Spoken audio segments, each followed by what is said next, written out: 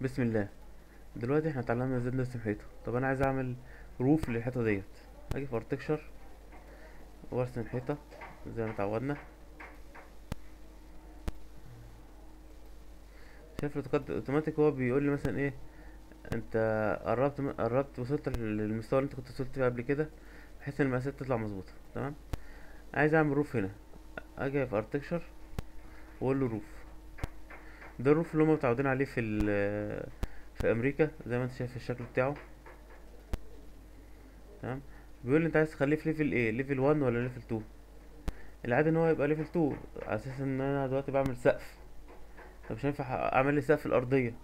يعني ربنا بيقول فخر عليهم السقف من فوقهم يعني السقف يبقى فوق فأقول له yes فبيقول لي طب انت عايز تحطه فين؟ أنا عايز أختار الحتة اللي في البر. ممكن اخليه هنا ممكن اخليه لا أنا عايز يبقى بره. تمام؟ أول مرة بس تختارها وبعد كده هو أوتوماتيك بيختار اللي بره. يعني حتى بص عايز أختار اللي جوه مرضاش هو كله سقف واحد.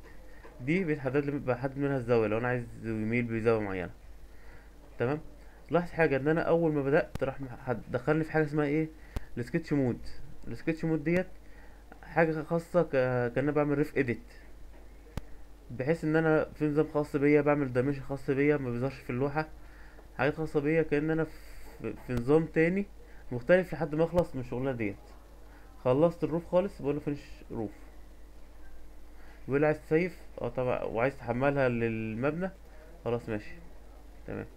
آه طب أنا عايز أشوف الموضوع ده بقى في 3 دي عشان أشوف أنا اشتغلت صح ولا لأ. باجي هنا بلاقي المبنى آه، ظبط معايا. لو أنا عايز الغي الكسرات ديت الغاها إزاي إن أنا أصغر الزاوية التلميل ديت يعني هنا الزاويه دي كبيرة أصغرها أخليها في المعقول هتلاقي كل الكسرات دي اتلغت. عمرو سليم. إيه الحلاوة دي؟